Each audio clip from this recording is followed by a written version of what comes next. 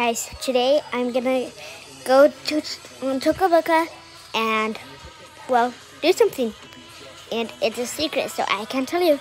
But one hint is it's on Toca Bye.